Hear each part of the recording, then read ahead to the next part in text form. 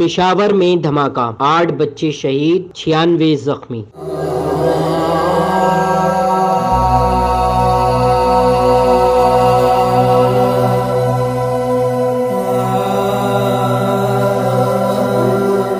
पेशावर के इलाके देर कॉलोनी में मदरसे में सुबह आठ बजे के करीब जब बच्चे तालीम हासिल करने में मसरूफ थे और मौलम ने माइक पर दरस कुरान का आगाज़ किया था कि अचानक जोरदार धमाका हुआ। हर तरफ़ होलनाक आग लग गई और जख्मियों की चीखों पुकार से दीवारें हिल गईं। धमाके के नतीजे में आठ बच्चे शहीद और छियानवे जख्मी हो गए। पुलिस और रेस्क्यू टीमों ने जाए वक्वा पर पहुंचकर जख्मियों को अस्पताल मुंतकिल किया। पुलिस का कहना है की धमाके के जख्मियों में ज़्यादा तादाद बच्चों की है, जिनकी उम्रें नौ से 15 साल हैं। धमाके के बाद कानून नाफिज करने वाले इदारों ने जाए हादसे को घेरे में ले लिया है और शवाहिद जमा करना शुरू कर दिए हैं। उस वक्त पचास बच्चे मदरसे में मौजूद थे और दरस कुरान जारी था। धमाका इतना जोरदार था कि पूरी इमारत लरज उठी। मदरसे की दीवारों और सतूनों को नुकसान पहुँचा, छत का एक हिस्सा टूट कर गिर गया, जबकि दरवाजे और खिड़कियाँ भी नहीं बची और मस्जिद की ज़मीन पर जगह जगह गड़े पड़ गए। पिशावर लेडी रीडिंग अस्पताल में सत्तर अफराद को मुंतकिल किया गया, जिनमें चालीस बच्चे शामिल हैं। लेडी रीडिंग अस्पताल में इमरजेंसी नाफिज करके डॉक्टर्स को तलब कर लिया गया। एन शाहिदीन ने बताया कि